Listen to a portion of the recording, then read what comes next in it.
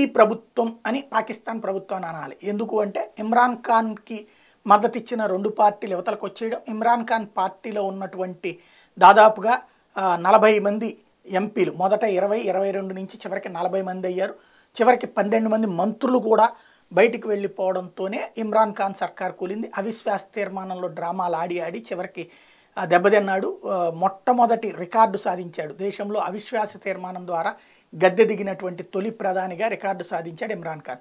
ఆ ఇమ్రాన్ ఖాన్ దిగిపోయిన తర్వాత కొత్త ప్రభుత్వం ఏర్పాటు చేసినటువంటి షాబాజ్ షరీఫ్కి మళ్ళీ అప్పుడే షాక్. ఎందుకంటే ఇంకా ఏడాదే ఉంది పార్లమెంటు.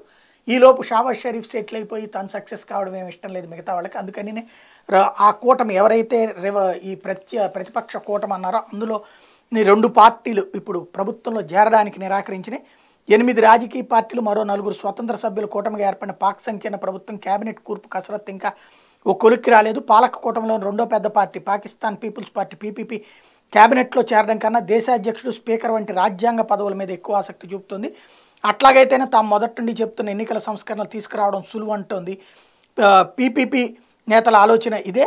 మరో భాగస్వామ్య పక్షమైన ఎంక్యూఎం పాకిస్తాన్ కూడా కేబినెట్లో చేరేందుకు ససేమిరా అంటోంది. ఇది కీలకమైనటువంటి అంశం.